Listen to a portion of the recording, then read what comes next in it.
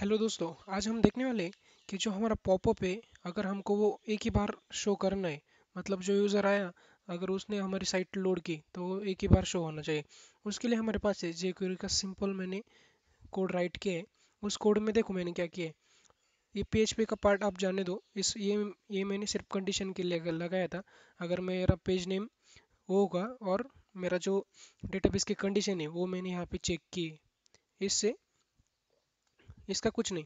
हमारा जो important code है, वो है ये स्क्रिप्ट टैग ये स्क्रिप्ट टैग अगर आप अपने कोड में लगाओगे तो आपका भी जो पॉपअप है, वो एक ही बार शो होगा। तो सिंपल इसके लिए कुछ रिक्वायरमेंट्स है।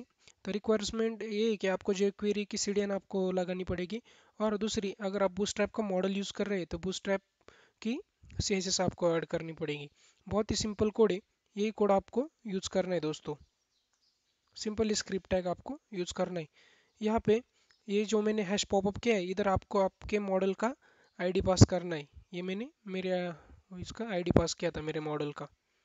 सिंपल है।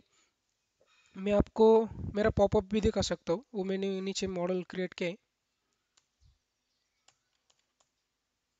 ओके मैंने यहाँ पे एक डायनेमिक मॉडल के लिए आप कुछ स्टैटिक भी मॉडल ले सकते हैं। सिंपल उसको मैंने जो आईडी पास किया है, वही ऊपर मैंने मेरे जावास्क्रिप्ट के कोड में किया चलो देखते हैं एक्चुअल में रन कैसे होता है।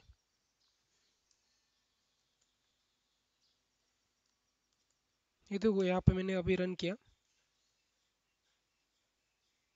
ये मेरा फ़र्स्ट टाइम मेरा पॉपअप आ गया ओके अब अगर यूज़र ने क्लोज कर दिया, फिर वो दूसरे पेज पे गया और फिर उसको इंडेक्स पेज पे आया तो वो पॉपअप नहीं दिखेगा।